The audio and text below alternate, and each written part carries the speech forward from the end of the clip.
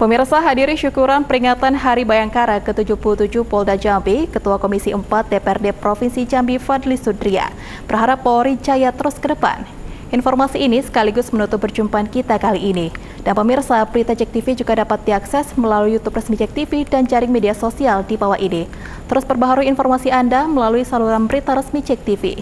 Akhir kata, saya Rinda Udina pamit undur diri. Sampai jumpa Cek TV Inspirasi Kita.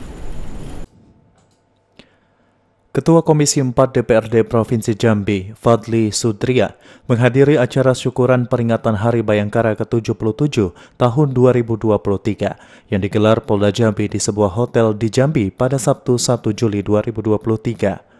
Peringatan Hari Bayangkara ke-77 kali ini mengangkat tema Polri Presisi untuk Negeri Pemilu Damai Menuju Indonesia Maju. Turut hadir dalam acara syukuran Hari Bayangkara ke-77 tahun 2023 tersebut, Gubernur Jambi Al-Haris bersama Kapolda Jambi, Irjen Pol Rusdi Hartono, Forkopimda Provinsi Jambi dan tamu undangan lainnya. Dalam kesempatan tersebut, Ketua Komisi 4 DPRD Fadli Sutria mengatakan, momentum HUT ke-77 Bayangkara ini dapat menjadikan institusi Polri senantiasa dicintai publik dan makin profesional, presisi, serta humanis dalam memberikan pelayanan dan informasi kepada masyarakat. Ia mengharapkan Polri semakin jaya ke depannya. Menurut Fadli, tantangan ke depan akan semakin berat terkait pengamanan pemilu di tahun 2024 dan juga diprediksi timbulnya kejahatan cybercrime dan lainnya. Untuk itu ia berharap institusi Polri harus bisa mengikuti zaman hari ini agar kejahatan-kejahatan cyber bisa terungkap.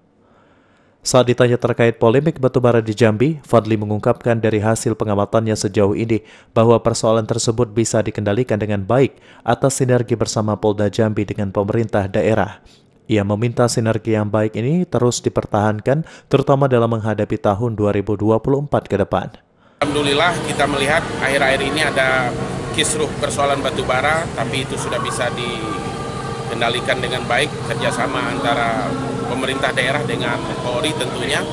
Mudah-mudahan ke depan ini tetap dipertahankan, terutama dalam menghadapi tahun pemilu di 2024. Masih banyak juga PR-PR daripada Polri, khususnya di Provinsi Jambi, adanya kejahatan-kejahatan yang belum terungkap. Mungkin ini PR bagi kawan-kawan Polri untuk bisa mengungkap seperti kemarin adanya eh, pembunuhan penemuan mayat daripada anak di bawah umur di dalam sumur yang sampai hari ini belum itu salah satu.